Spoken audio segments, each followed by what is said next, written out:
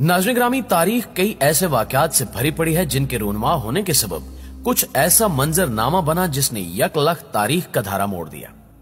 उनासी हिजरी में दमिश्क में सुलेमान बिन अब्दुल मालिक का मसनद खिलाफत संभालना और इसके नतीजे में कतीबा बिन मुस्लिम का चीन की सरहदों से, तारिक बिन जाद का फ्रांस से और मोहम्मद बिन कासम का फतेह सिंध के बाद पलट जाना। इसकी एक मिसाल है। इसके अलावा 1402 ईस्वी में जंग अनकरा में अमीर तैमूर के हाथों उस्मानी सुल्तान बायजीद यलद्रम की अफसोसनाक शिकस्त और गिरफ्तारी भी एक ऐसा ही वाक्य था कि जिसने यक यक तारीख का रुख मोड़ दिया। और इसके नतीजे में पूरे यूरोप की तस्कीर की ख्वाहिश उस्मानी तुर्कों का ख्वाब बनकर रह गई।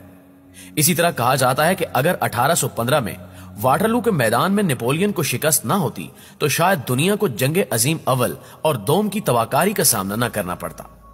आज हमारा मौजू एक ऐसी मार्का आरई का तस्करा है, जो 25 रमज़ान मुबारक, छह हिजरी ब मुताबिक 1260 ईस्वी को मिस्र और शाम के दरमियान वाक़ एन जालूद के मकाम पर पेश है। और जिसके नतीजे में आलम इस्लाम जो बजाहिर तबाही के दहाने पर पहुँच गया था, वो मुकम्मल बर्बादी से बच गया। हैरान कन तौर पर हमारा तालीम याफ्ता तबका भी मार्का एन जालूत और इसके हीरो सुल्तान रुकनुद्दीन बैबरस के बारे में बहुत कम वाकफियत रखता है। हालाँकि इस मार्का आरई के नतीजे में न सिर्फ़ आलम इस्लाम को सियासी तौर पर नई ज़िंदगी मिली, बल्कि हरमैन शरीफैन की हरमत को लाख शदीद